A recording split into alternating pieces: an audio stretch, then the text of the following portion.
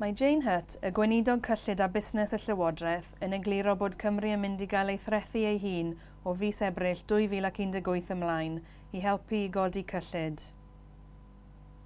Dyma'r trethu cyntaf sy'n benodol i Gymru mewn bron i 800 o flynyddoedd.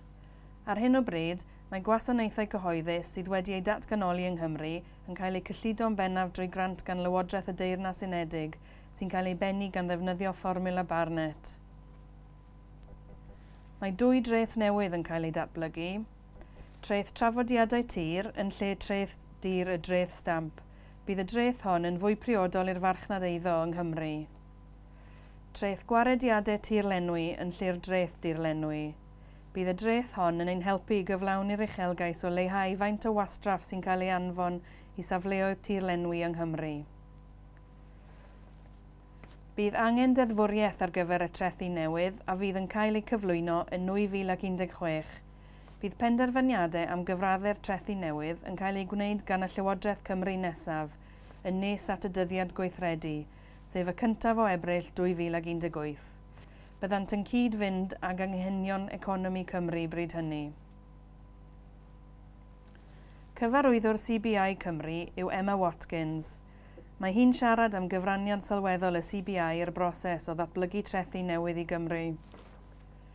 Tra bod ddwy lywodraeth yn trafod y posibilrwydd o ddatganoli trethu, cafodd llawer o aelodau'r naill ar llall drafodaeth ar gweinidog cyllid ynglyn â'r gwahanol drethu a allai gael ei datganoli. Trafodwyd beth fyddai'r goblygiadau a sut i sicrhau bod y trethi'n llwyddo.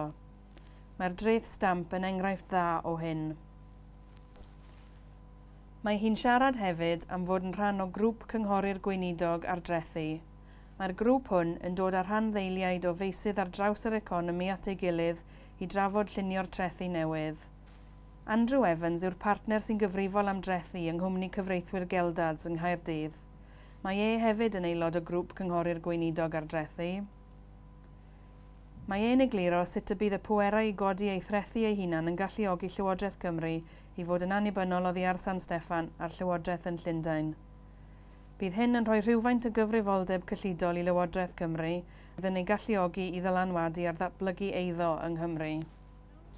Yeah, Thomas Glyn Watkin o'i fi, roeddwn ni uh, yn athro'r gyfraith ym Mhrifysgol Cardydd ac wedyn ym Mhrifysgol Bangor ble sefydlais i adran y gyfraith rhyw ddeng mlynedd yn ôl. Ar ôl hynny, des i'n ôl i Gyrdydd i fod yn prif gwnsler deddfwriaethol Cymru yn ystod y trydydd cynulliad. Yn yr ystyr cyfoes o dreth, hynny yw arian sydd wedi cael uh, i godi gan cynrychiolwyr y bobl, y Llywodraeth, uh, er mwyn gwario ar gwasanaethau ar gyfer y bobl, nid oes treithio'r fath yna wedi bodoli yng Nghymru o gwbl o'r blaen. Rhain yw'r uh, treithi Cymraeg cyntaf cyn i gonquest uh, Cymru gan y Brenin Edward y cyntaf, roedd tywysogion Cymru yn codi arian er mwyn cynnal uh, ei lys uh, mewn taliadau mewn nwyddau neu mewn cynnyrch roedd yn cael uh, ei galw'n gwestfa.